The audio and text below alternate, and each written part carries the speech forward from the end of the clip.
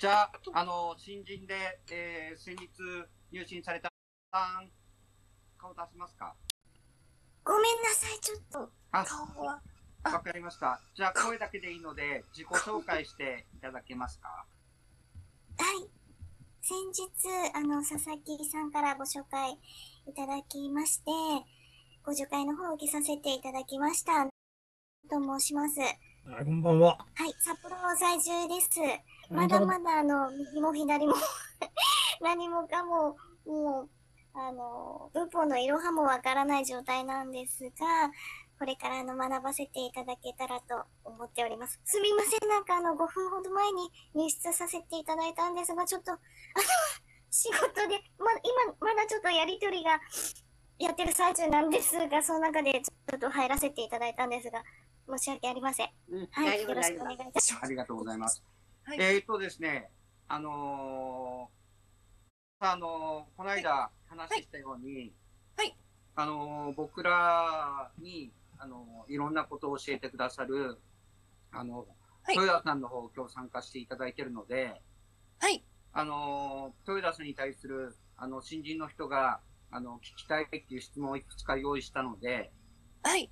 また、この間、えーちょっとこういうところが疑問なんだっていうことも、あの、用意してるので、はい。これから、あの、バトンタッチしていきいきますので、あの、あはいよくよく聞いて、もしわからないことあったら後で質問してください。はい。聞かせていただきます。はい。はい。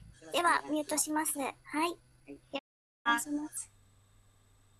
じゃあ、あの、さんバトンタッチするから、じゃあ、豊田さんに対する質問の方よろしくお願いします。はい。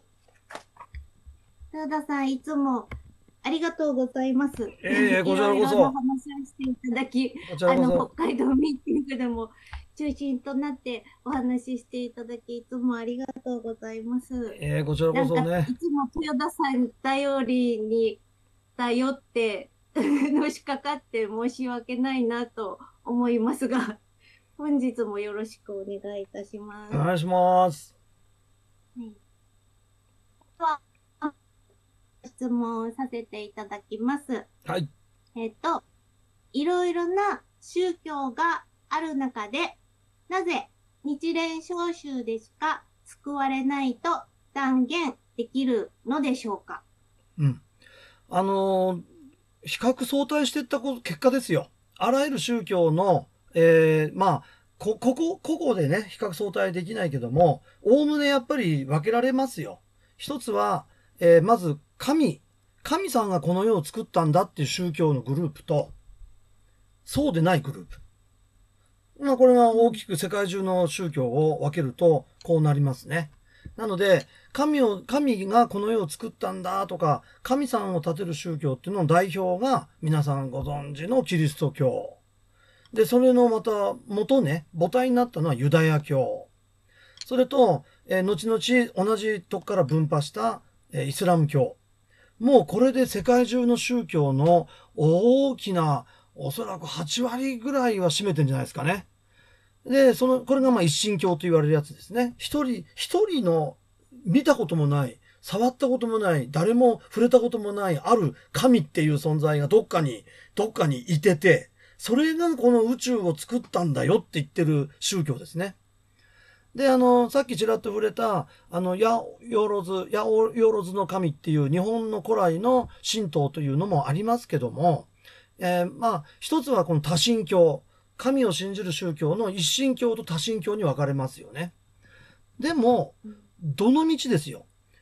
今日はまあ簡単に言うと、結局、あの、え、すべ、あ、まあ、こっちの方がいいか。お頼み宗教なんですね。この神を立てる宗教はみんな、要は何か病気を治してください。病気をかかんないようにしてください。お金持ちにさせてください。人と仲良くさせてください。いい結婚できるようにさせてください。全部頼む宗教なんですよ。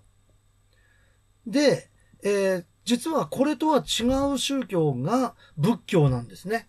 世界中大きく分けると、簡単に分けると、この仏教か神道かの神を立てるか、どっちかにしか大体ならない。で、あの、儒教なんかは、基本的にはあれはあの、孔子、まあ結構な人間やってますけど、孔子とか老子とかっていうのは、あれはそもそも宗教じゃなかったんですね。後の人が、あの、孔子さんをだんだんこう持ち立ててって宗教チックにしたんで、孔子自体が自分で言ってますけど、儒教の創始者、えー、孔子も自分で言ってるんだけど、自分は前世のことも問わない、わからない。それから来世ってことも全くわからない。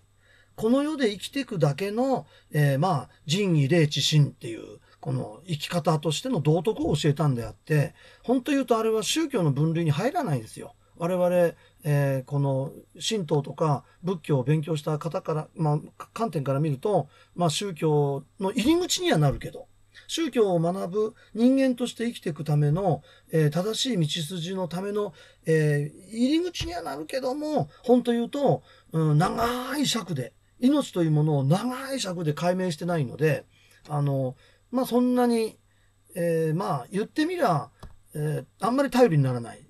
害もあんまり少ないとも言えるけどね。だけど、まあ、今日は大きく分けて、えー、ちょっと儒教はまあちょっとこう、まあ、その程度のものだと思っていただいて、道徳の範囲。なので、宗教と名を付けるものとすれば、神を立てるか、それ神がこの世を作ったんだ、神が全てを支配してるんだと言ってる宗教か、方や仏教という考え方。いわゆる今から2500年前にブッダという人が現実にインドの、インドに出現して、そしてある悟りを得た。そしてその悟りに基づいて我々はどうしたら、どうして不幸になるのか、どうして不幸が起こるのか、どうしたら幸福になるのかを細かく解明したのが仏教なんですね。つまり、ここの違いは何かというと、簡単に言うと原因と結果をちゃんと解き尽くしているかどうか。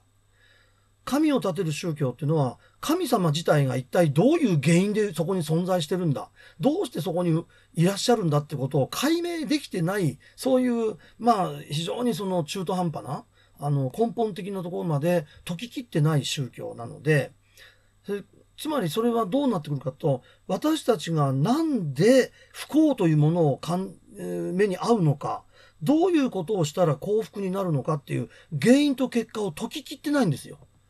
今でもそうですね。キリスト教は、どうして生まれつき貧乏と、えー、お金持ちの差があるんですか？どうして生まれつき目のない子が生まれてくるんですか？どうして足のない子が生まれてくるんですか？これに対する原因を全く解いてない。それは、神のおぼし飯です。そう言うしかないの、彼らは。で、結局原因がわからない、不幸になる原因がわからないから、幸福になるための原因もわからないので、結局はこの立場から、今ここにいるただ自分の立場から、お頼みするしかないんです。すがる、すがるしかない宗教なんですね。で、仏教は何かっていうと、なんで不幸が出るのか、どうしたら幸福になるのかを原因をみんな解き切ってるので、お頼みとか、すがる宗教じゃないんです。仏教全部を、そう、総じて言えば。つまり、自分で修行しなさい。修行することによって、不幸なる原因を克服しなさいと。そうすればあなたは必ず幸福になれますよっていう、こういう宗教が仏教なんですよ。そこで、えーえー、まあ、いわゆるその、えー、原因と結果というものがちゃんと明確だから、不幸になる原因、原因というものを浄化する方法を教えてくださっていて、そして我々が幸福になるためのその積むべき修行法を教えてくださってるから、我々はトレーニングをすることによって不幸を克服し、あるいは幸福を得ることができるっていうことを教えてるんですね。で、これは皆さん方も普通に考えたとき、どっちが正しい道を解いてるかっていうのは、高校生か中学生ぐらい以上だったらわかると思うんですよ。